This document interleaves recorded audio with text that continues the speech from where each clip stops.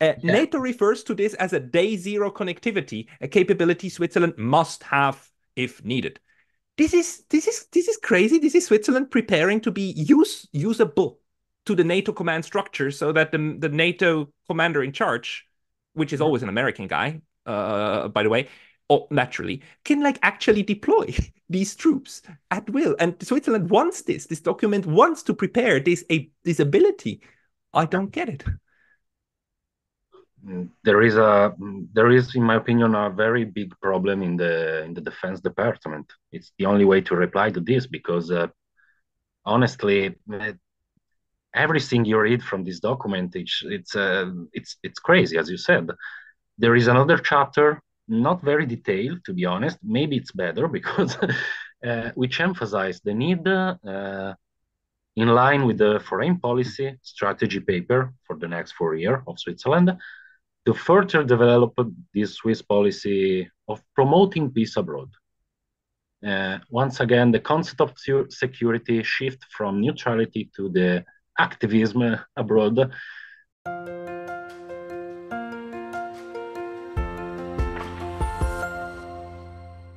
but the fascinating thing, the fascinating thing is that Switzerland is doing this out in the open, right? It's not a hidden movement because you wrote a newsletter recently pointing out that there were two important policy documents that our government published it's out there it's it's not hidden that are actually quite shocking to people like you and I who think that Switzerland should be neutral and that we actually should should carry that also in in our political discourse um, can you maybe outline these two documents and why you were shocked at them, and then we discuss them in detail? Yeah, of course. Uh, so the the first document was a document for the new negotiation uh, of the Swiss government with the European Union. Uh, it's a discussion that uh, the Swiss already have some years ago. The idea was to create um, a partnership uh, and to create a common ground, a common law ground uh, between Switzerland and European Union. Uh, in fact, without that luckily the, the government uh, um, stopped this uh, negotiation but they decide to to start it again now. And the idea is to uh, because switzerland is outside the european union but the idea was to um, make the the European Union law and the Swiss law always more uh, compatible and make the Swiss law, in fact, under the decision of the European judges. I, I make it simple, but the fact yeah. is that uh, European no, judges will decide which law it's uh, it's okay for Switzerland, and yeah, uh, just just as a, just as a little background, I mean, it's absolutely correct what you're saying. The, ba- the main problem is because Switzerland is not part of the European Union. Uh, Switzerland has been negotiating individual individual treaties with the EU on many different economic levels, and the EU at some point has said, "Guys, stop the piecemeal stuff. We don't want that anymore. We want you to conclude with us a framework, a framework agreement under which all future agreements will be part of." Uh, and and the EU is saying like we want that, or otherwise Switzerland we just won't do any deals with you anymore. And the Swiss were saying, okay, fine, let's let's negotiate. And part of the thing that collapsed was when the EU said, look, you have to subsume all of your uh, all of the decisions. Whenever we have disagreements, it will be it will be judged by a EU court. Yeah, that's it. Uh, and of course, uh, uh, yeah, our party our party is has always been against any attempt to apply for EU membership. But uh, this is not, uh, of course, a membership to Euro European Union, but in fact, uh, it's a, um, a framework like this will uh, reduce the Swiss democratic margin, the national sovereignty, and any kind of possible independence. Because, uh, yeah, as you said, the, the uh, foreign judges are going to choose for us what is good, what's going good, what's not good, and, and so on. And yeah, this is the first document, uh, which is uh, which is bad, of course. Uh, the other document, it's uh, in my opinion also very very dangerous, very very problematic. I have to, to context it a little bit. Um, this second document it's um, regards Switzerland and NATO relationship. So if we think about uh, Switzerland neutrality and NATO, it's like since the 19 years that I think that both from our domestic policy, but also I'm sure about that because of pressure from abroad, I think that our neutrality is less and less tolerated. And there are some um, um, some way to try to modify and reduce it. Uh, for example, in 1993, there was a document which was published, which was called Neutrality 93, um, where slowly the government start to change the concept of Swiss neutrality, very slow, from the strict one of the World War II and the Cold War. Um, so, in 96, Switzerland joined the NATO Partnership for Peace program, this program for deepening relation between NATO and country who do not belong to it. Uh, this is, in my opinion, another clear sign of Switzerland's new turn in, uh, in foreign security policy. But now to arrive to Nova Day and the war in Ukraine, uh, with the outbreak of war in Ukraine, uh, as you as we already said, the Federal Council take, took several action uh, decided to adopt European Union sanction. In summer 22, we organized a mock peace conference in southern Switzerland without inviting Russia. Uh, yeah, it was a conference where in reality the, it seems more that they wanted to talk about how to divide economically Ukraine after the end of the war in a very colonial way. But um, in March uh, 2023, Switzerland participated for the first time with its federal, Air Federal Council Councillor Viola Amherd in the North Atlantic Council in NATO headquarters. And just a few days ago, uh, there is the news that Switzerland was decided to confirm the to join the Sky Shield initiative, the European ground-to-air defense initiative. So um, the fact is that uh, Ah, and uh, I was forgetting, which is very important. In 2022, the Federal Council presented a supplementary report on neutrality policy, where the concept of neutrality is put like in the second place in favor to a cooperation concept. Um, and this cooperation refer only to NATO. So uh, this paper, which I'm going to talk about, uh, is part, of course, of a much broader context of progressive approach to European Union and NATO. And in fact, it start to give uh, um, uh, some answer about what we will see in the future.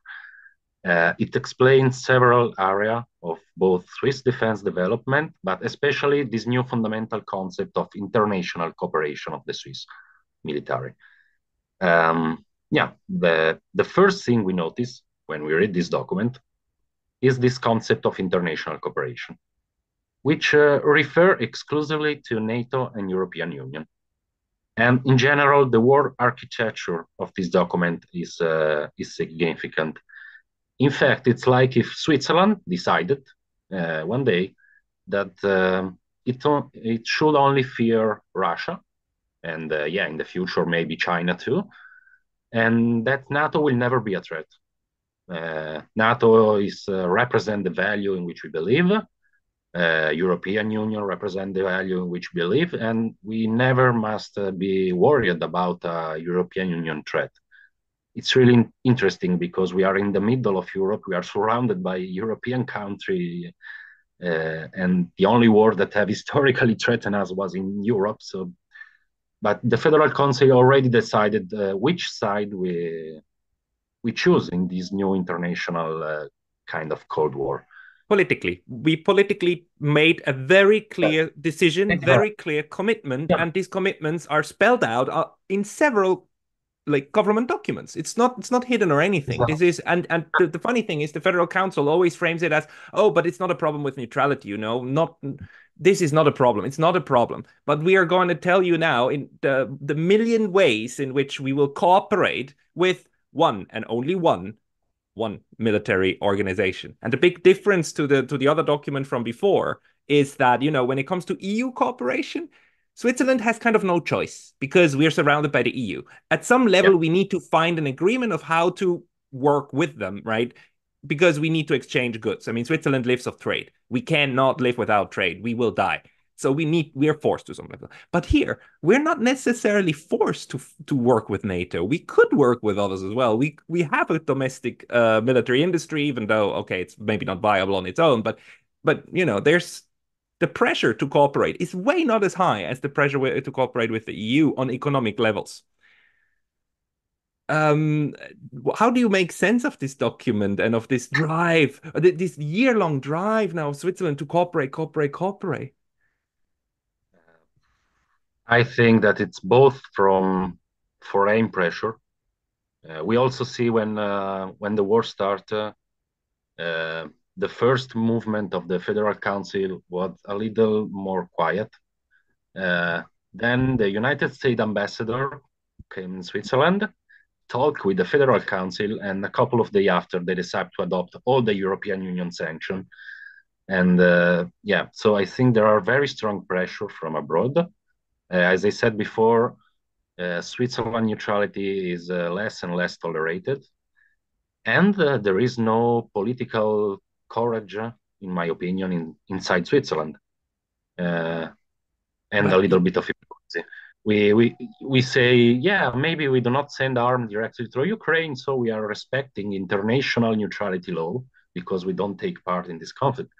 The fact is that the important thing of neutrality is the, in my opinion, it's more the political aspect, how neutrality is recognized around the world. And yeah, what we are doing, uh, Switzerland decided what uh, side uh, to take part. And uh, yeah. I absolutely, I absolutely agree with you. I see it in the same way. Um, it's important though to know that you know the Social Democrats, the, the Social Democrats actually started um, in on February twenty four or twenty fifth, twenty twenty one, a uh, twenty twenty two, a petition to push the federal council to adopt all sanctions. That was a left idea. And they, they gathered 180,000 or 200,000, I forgot the number, but a lot, a lot of online signatures, you know, on an online petition, a lot. And they're very proud of that, actually, that they managed to correct course, which is sad, I, I think, but it, it, it shows, I mean, there is a domestic, there's an internal um, agreement in Switzerland of not not everybody, but but a good part of this of of left lefty people in Switzerland are pro sanction and pro um, taking political sides. Yeah, as I said before, uh, mm, yeah, I talk more about uh, the left because I think that this is the main problem.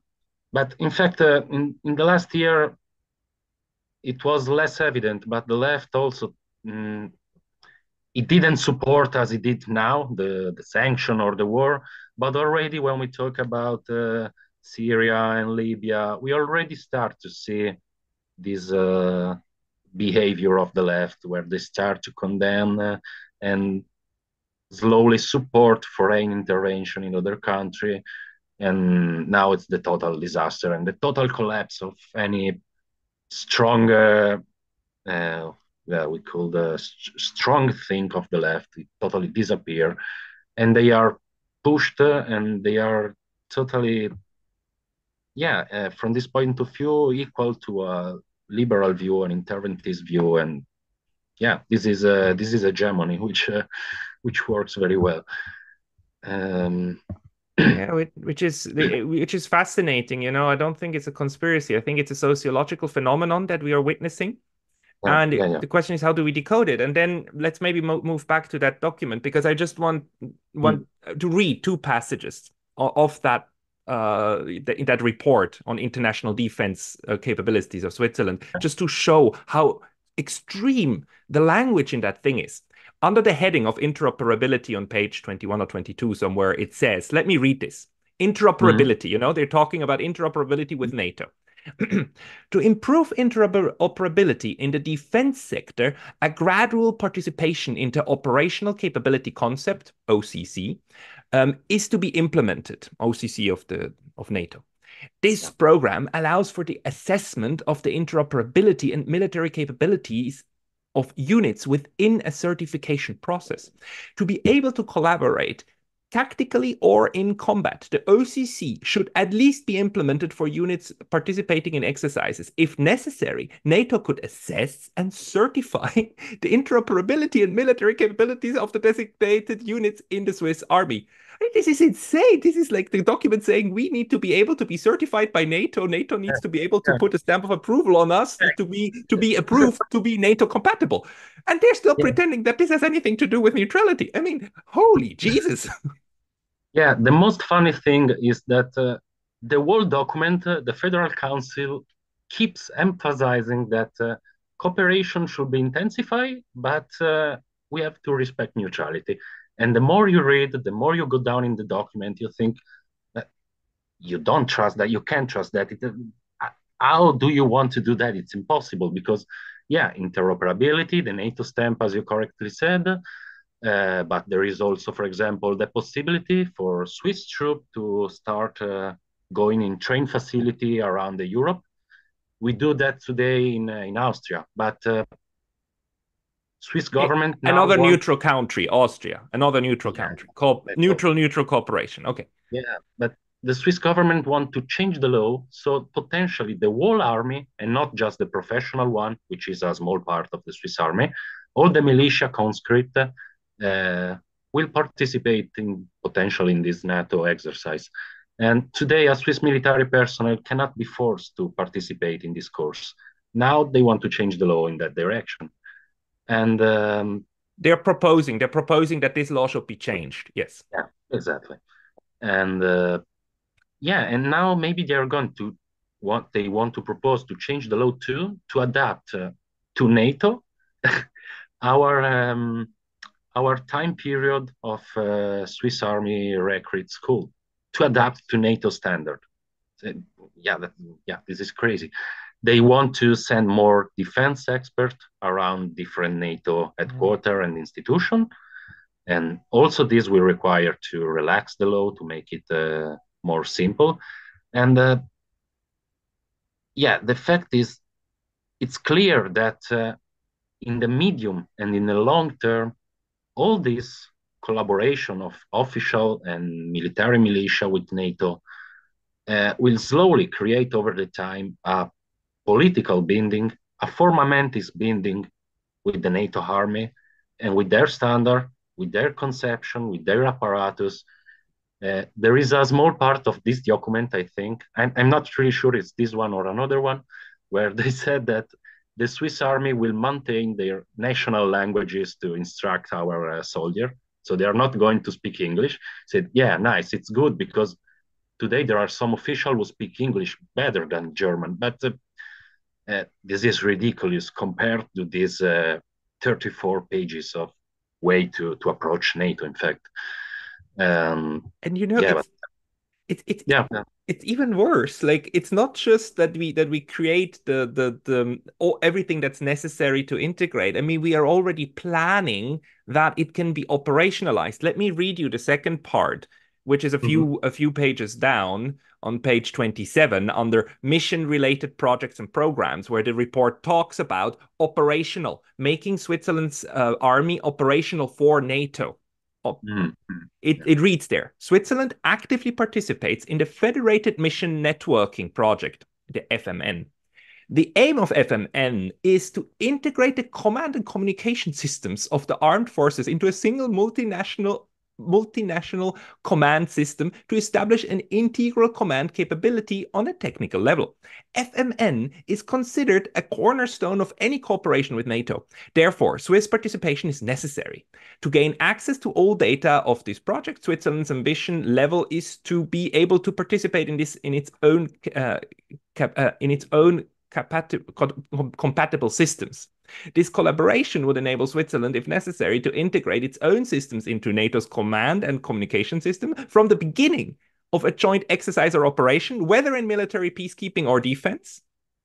And military peacekeeping, don't get it wrong, this means offense. Military peacekeeping means peacekeeping abroad, means like foreign deployment.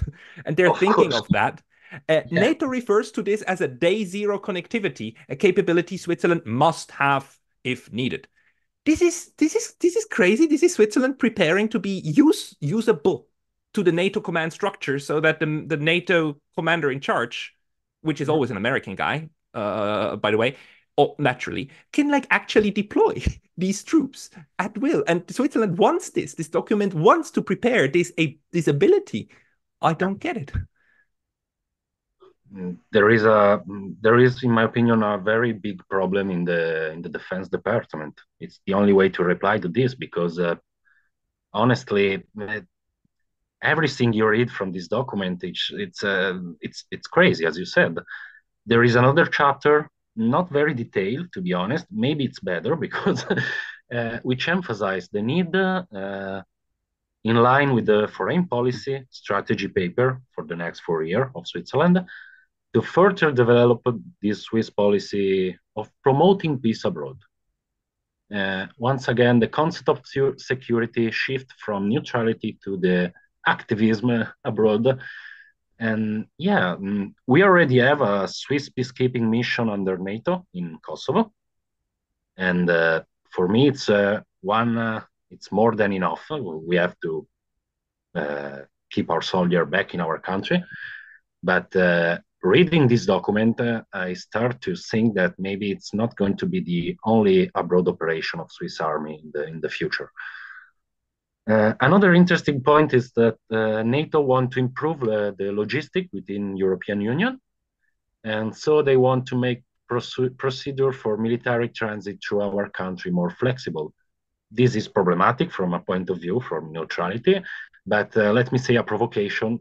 Uh, maybe since Switzerland is in the middle of Europe, maybe the next step it will be to create some NATO bases in the middle of Europe to let us their soldier rest uh, and uh, in our country. Uh, you know, you know the way the way to do this is very simple. You just declare a little piece extraterritorial, and then you're fine. and and Switzerland just just last week or two weeks ago decided to actually host a NATO bases in Geneva, and they're saying, oh, but this is not a liaison office. This is just for for NATO to to coordinate with Geneva's international institution, yeah. not with us. They would never talk to us. You know, so this is this is what we are seeing is that on the operational level, Switzerland is being made ready made ready to join, you know, so that when the political decision comes, it's just a political decision, but everything else is already ready. This is exactly, exactly. what happened to Sweden and Finland. Exactly. exactly. Yeah. Uh, I would also like to add another point because uh, uh, to put a little bit aside neutrality, but uh, another point of view, the national security point of view of this uh, further uh, um, development of NATO cooperation. Because uh, if we start to being certificated by NATO standard, if we start to be uh, instructed by NATO officer, uh, if we continue to buy only American armament, now we are going to buy F-35 jet, fight jet, fighter jet, we are going to buy Patriot air defense system. Uh, if we continue to integrate uh, our military communication with NATO, we are also creating um, a military dependence risk. Because today uh, the technological aspect of the army it's even more and more important. And if there is no diversification there is technological dependence. And so uh, i don't want to exaggerate but the fact is that our army will be controlled from abroad. In fact our system army will be controlled from uh, from foreign country. And yeah, um, I completely agree with you. I think that the the Swiss government is preparing all the necessary procedure to be ready when they will decide to join NATO. To just have to uh, send people to vote that, and uh, and maybe also saying now, in fact, uh, it's not going to change much from today because today we already cooperate with NATO. We already have interoperability. We already are certificated by NATO. So, what's the difference between being like we are now and being a NATO a NATO partner member? Uh, that's why we need to really struggle uh, with this initiative that uh, will put the, the neutrality concept in Swiss constitution and so the, the forbidden to join NATO. This is the, in my opinion, in the opinion of our party, is the main struggle today for a communist party in Switzerland. It's the most important struggle. Well, thank you. This is highly interesting. You know, it's you know what this reminds me of? This reminds me of the way that Switzerland participated in European colonialism without having a single own colony. The Swiss, for the whole 18th, 19th century, they never had a colony themselves, but wherever there was a European European colonizers, you always had a couple of Swiss who were there as well who participated in the whole thing and who, who benefited from the trade that the others didn't want to do. And you know, in this way, Switzerland was always integrated, even though it looks at itself as as being outside and apart. And it seems that this time the the the drive, the social drive, and also the elite drive is toward integration into the Western Alliance, uh, plain and simple. And that this happens with this double speak saying like, no, no, no, it's cooperation. It's not in, it's not integration, but interoperability, yes, and so on. So and it happens out in the open. It's fascinating. Yeah, that's really fascinating. But yeah, we don't want to to be naive. Uh, we are we are aware that uh, also the Swiss neutrality uh, during the year has been uh, exploited to make uh, some kind of dirty business. We know of uh, apartheid in South Africa, and the Israeli issue. We also know that during the Cold War, for example, we were not officially sided with NATO, but of course we were part of the Western Bloc. The fact is that uh, uh, we were recognized from the rest of the world as a neutral country. Mm. Soviet Union know that we were part of the Western Bloc, but they still consider us a neutral country. And today, I think that Switzerland is is really going hard and in, in a really explicit explicit way, and it's losing all its credibility in the eye of the world. Um, Russia, for example, has immediately decided that we are no longer neutral. And as I said before, it's more important the political point of view of uh, neutrality recognition. And uh, I don't want to be defeatist. I think that thing can still turn around, but we really need the political courage now. We need to move forward and avoid any other action that will bring us closer to European Union and NATO, because uh, we are really exaggerating. this uh, now it's really explicit our the position that Switzerland decided to take. Yeah, that's why we are working together. We want to change the course of the ship because we haven't yeah. hit the iceberg yet, but the iceberg is there and we're headed. So let's see if we can turn it around. Uh, Alberto Togni, thank you very much for your time today. Thank you too, uh, Pascal. Very nice to, to discuss with you. Thank you.